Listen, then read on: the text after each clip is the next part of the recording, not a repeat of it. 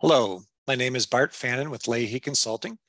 Thanks for joining our brief overview of our Pulse Purchase Order Manager software, as well as our sales order portal. I'm currently signed in right now as the buyer within my company in order to interact with purchase orders with particular vendors that we've allowed to have access to our system. Currently, right now, I'm able to see at a glance a dashboard of the status particular certain items that we have purchase orders out for with particular vendors.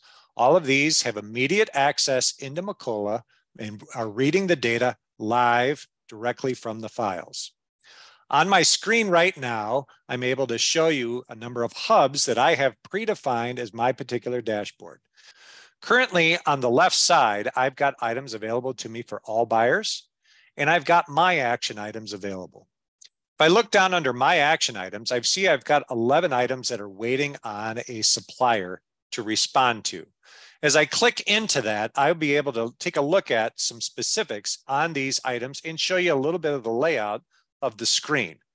On here, I've got predefined columns available to me. If I would like to change, add, or rearrange those columns, I can choose to. To start, I'm going to click on any of the three dots that are available on here, and I'm going to come down to the word columns. Over on the label field, I've got available to me in a business English setting for all of the fields within our system. So if I wanted to add order weight to my screen, I can just start typing the word order, and then I'm going to check that I would like it to be visible. It's now added to my screen. And if I choose to move that to the very end, all I need to do is drag and drop, and I'm able to view this in any particular order that I want. Another choice is to be able to come over to a particular column and ty start typing any particular name, in this case for a vendor name. If I type the letters COMP, it gives me any of the matching vendors. I'm going to choose this particular vendor to narrow down my list. Over on the left then, under order number, I'm going to go into order number 24-00 to be able to pull up the purchase order information that we have available to this particular vendor. On here, I have my test company information. Down below are all the particular line items that I have available to be able to see for this particular purchase order. Up above, what I can do here also, if I have authority, is I could edit information on this purchase order. Clicking the edit button would allow me to come down and have access to some of the information below. If I chose to, I could change any of this information as well as the vendor if we give them authority to. So in this case, I might say I'm going to update a promise date on our system. Uh, originally, it was on there as May 30th, and I'm going to change it to another date. Let's say it's going to now be May 31st. After I've done this, I'm going to click Save. And this will automatically update into Macola the promise date that's available. If the vendor were to be doing this for me, I would be receiving a note letting me know I have something to check on to where I could come in and approve this change from the vendor. Coming up here to history, I can see all the interactions that have taken place with this particular purchase order. Notice the one that I just made now, if I open up here, I can see the specifics as to what happened. Over on the left here, I'm able to see the information from the line item directly, and I can see that the promise date received a new value in the particular time that it happened. Any other interactions between me and or the vendor would be listed down below. Closing the history area, I'm going to open the documents. On documents, I'm able to attach any type of document to this order. Purpose of this is to be able to have a history and a permanent attachment on here of anything that we would like to have. This can be a PDF with a signature on it. It could be a spreadsheet. It could have work instructions anything in particular that you would like to have associated with this. Uh, once I come down and uh, finish with documents, I can come into notes. From the notes section, we can add any particular notes uh, for the vendor to be able to see. In this case, I'm going to say new promise date okay. Now I'm showing you something pretty generic. I click save and I've got checked on here the option to notify.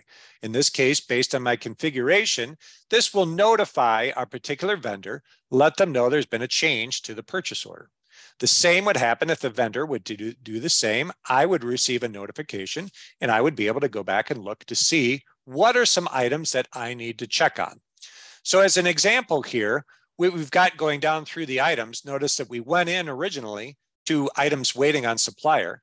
Then there's ones that are waiting on me. As I click into this, I'm able to see if there's any particular items that I need to respond to. And in this case, for this particular corporation, 41-00, I go and I click in and I know a modification has been made by my supplier on this date. Okay. Well, what was that modification? I'm going to open up the history and I'm going to see a new promise date was put in. Previously, one did not exist and one has been put in. If I chose to, I could approve this particular promise date. Once I've done this, that would update my list back on the screen. Notice it went from one to zero. Now I'm going to switch to our customer order portal.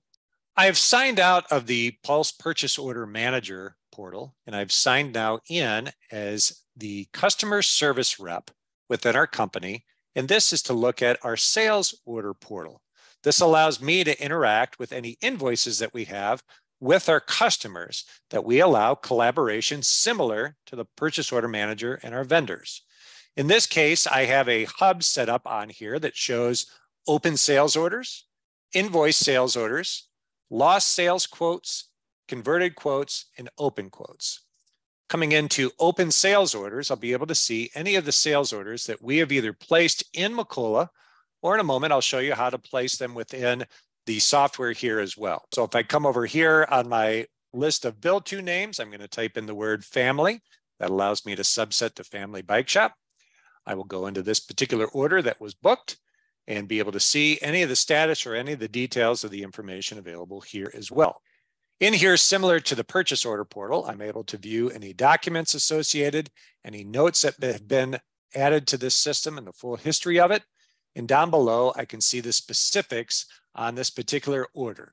I have one line item for a cleaner, and I have a particular requested date, promise date, the quantity that was ordered, the price, and the totals are listed then down below. If I chose to, I could actually create an order directly from our system here. Coming up to sales, I can say open sales order create. And if I have authority to do this, I could actually place an order in this system. This can be done by an internal person within my company in our office. This could be done by an outside sales rep, or it could be done by the customer themselves. If you give them authority, you can then decide when it comes into Macola, what status it will be at. You may choose to have the status on hold. Coming down here, I'm going to select particular customer to, to work with. In this case, I'll choose my Bikorama. Now down below, I'm going to add new items for this particular order. Click on the add new item button, adds a line item here, and I'm going to click on this magnifying glass to choose what it is I would like to purchase. Clicking on tires will allow me to pull in the information for this particular item. And I could say how many tires I would like to purchase. Now, if I have a default price in there, that would show up then as well. And it will use all the Macola typical pricing that we have available in the system.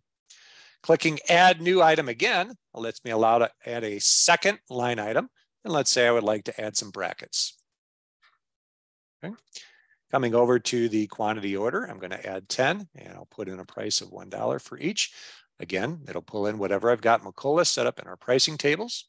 And once I'm done, I can click save and this will add the order into Macola. This was a brief highlight of both softwares. If you have any questions, feel free to reach out to our team and you can find more information on our website. Thanks again for watching this video.